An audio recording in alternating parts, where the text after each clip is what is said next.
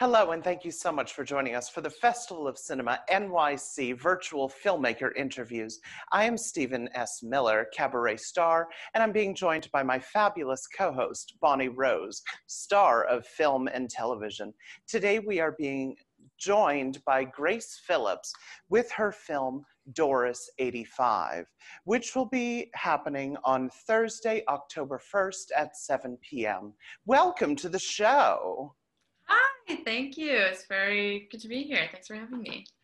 We're very happy to have you today and to be interviewed for the Festival of Cinema. Um, could you tell us a little bit about uh, your film Dorris 85?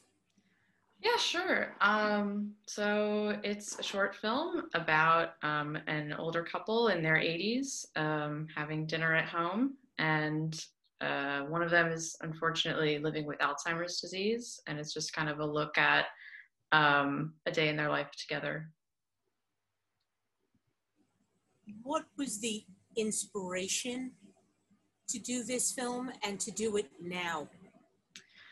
Yeah, so I have had two members of my family um, affected by Alzheimer's. At first, it was my great grandmother on my father's side, who I knew from when I was very young watched her kind of live through it for a long time and pass away due to complications from it. And then um, when I was making, when I was like, oh, I want to make a film, um, my grandfather, my mother's father, um, had been living with it for a few years and it had gotten quite bad. My grandpa Jim and my grandma Paula, who was taking care of him. And I just, I had gone to see them and he had told me this story like over and over and over and over and over again um, we were only there for a couple hours. He told it to us so many times, and it was this weird thing where like I literally couldn't remember the story anymore. He said it to me so many times, and I could not remember it. So I asked my mom what it was, and she told me, and I was like, okay, you know, I'm interested in this idea of my grandparents when nobody else is there because they lived in um,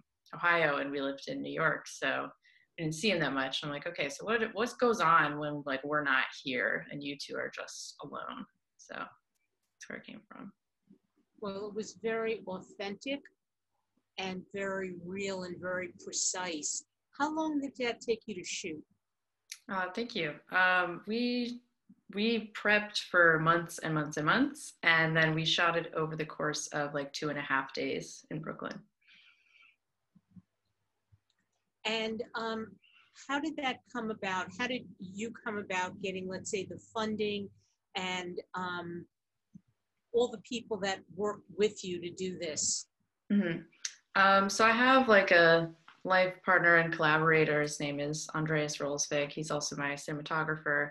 And we had made a short before. We wanted to make another one. Um, so we came upon this story. And then I met um, our two producers, Kevin Bay and Maria Kay, and you know, pitched them the movie, and they were really excited about it. Um, so the four of us got together and made a Seed and Spark campaign, and we were able to raise like seven thousand dollars to um, like through that to fund the film. And from there, you know, the rest of the crew was, you know, we all had been working in the industry and knew people, and you know, got people on board. And what is your um, where where do you see this film going, especially in this particular time that we're living in? with mm. so many um, baby boomers uh, having this as a reality. And because you had it placed not in an assisted living home, not in a nursing home, but very specifically in their home. Yeah. Um, I haven't I haven't thought about where I want it to go after the festival circuit, um, but I would love for as many people as possible to see it um, especially people who I think can find something specific and relevant about it. I, I am very saddened by this thing that happens now where when people get quite bad in this disease and other um, medical issues in their older age that they are kind of forced into having their end of life be at a hospital or somewhere unfamiliar. Um, so I'm not, that's a really good question. I want to think about that where it can live after festivals so that maybe it can help people kind of like figure out how not to allow that to happen to their loved ones. Mm-hmm. And how excited are you to see this up on the big screen at a drive-in in Queens? I love drive-ins so much. I'm so excited by this. I think it is so cool and so great that you guys were able to like make that happen. So I'm truly like elated. I'm like, it's gonna be huge. so thank you for doing that. That's really impressive and I'm very, very excited.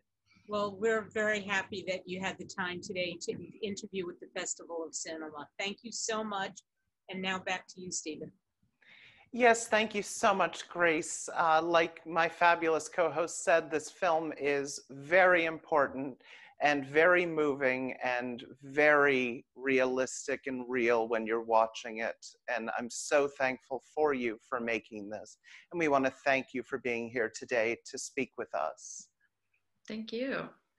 It's always so amazing to hear that people love your work. I'm always like, really? Wow. so thank you. And thank you also to my fabulous co host for joining us today. And until next time, we look forward to seeing you again. See you at the drive in.